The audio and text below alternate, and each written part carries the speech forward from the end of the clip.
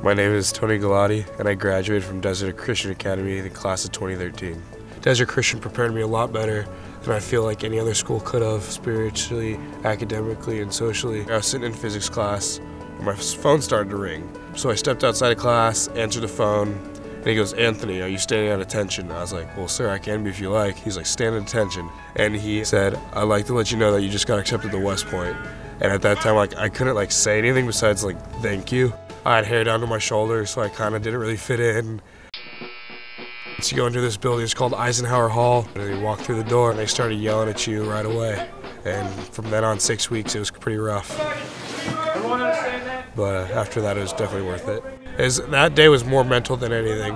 It was definitely just a very big mental challenge, getting ready to like say hello to this new world and goodbye to your old one.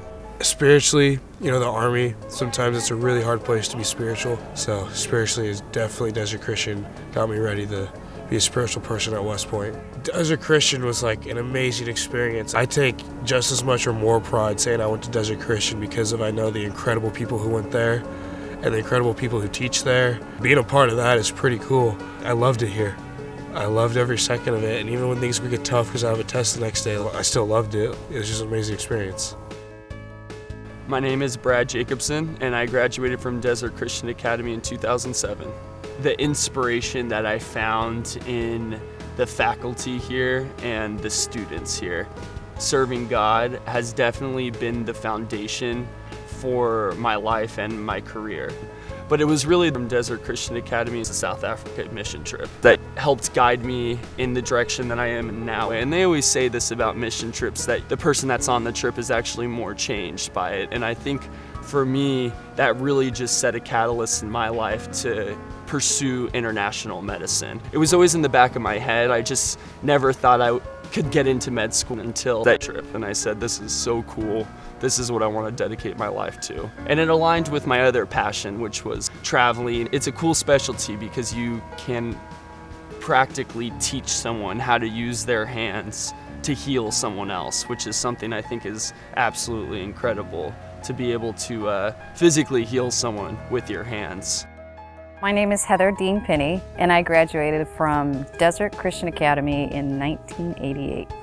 This is what DCA did for me. It taught me how to go in front of a board to set up a regulation that girls got to wear pants because we wore dresses every day. And it was a small area, but it was big for me as a kid. And I'll always be grateful to DCA for giving me that start. What an empowerment for a 17 year old girl. It allowed me to grow strengths in a variety of areas that honestly I don't think I would have gotten in a larger school.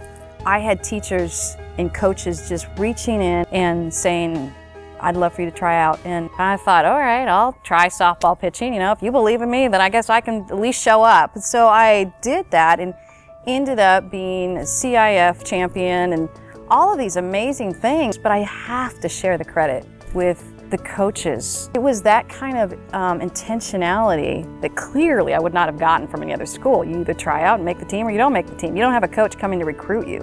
It's ironic that I'm a coach today. You know, I, even though I don't coach sports, I'm coach of, people developing their life skills and their heart.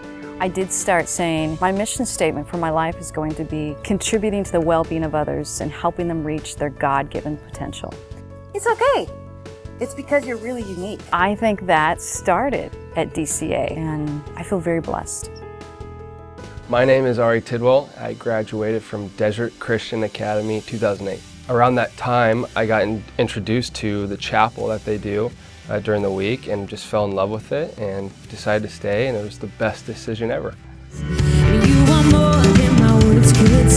I don't even think I'm a professional, but I think people like say you're professional when you start making money doing something, you know, a passion or anything that you pursue as a you know career. But you know, I had some pretty big opportunities, honestly, to go on like a pretty big major tour, and it was right around the same time that we got married, and I it was a hard decision, but I totally turned it down because, and I'm not bragging on me at all.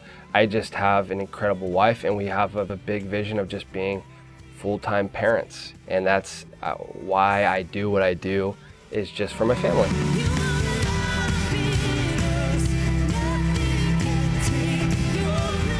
I just believe DCA, Desert Christian Academy, is just incredible.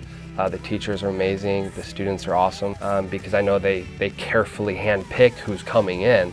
Not everyone just coming into the school, and uh, for that reason, it's awesome association, and it really plays a huge role in your life going out of school.